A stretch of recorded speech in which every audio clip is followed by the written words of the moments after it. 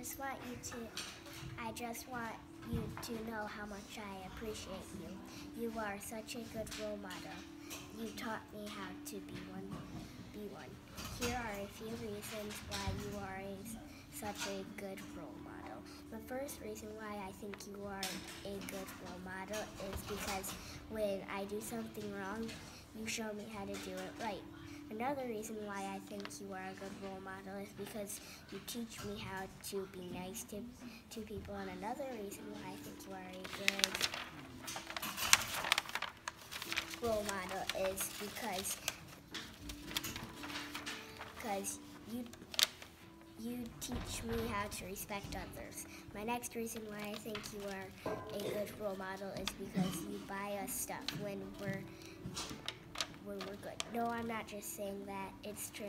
My next reason why I think you are are a good role model is because almost ev on every holiday you buy a gift for me and Ivy.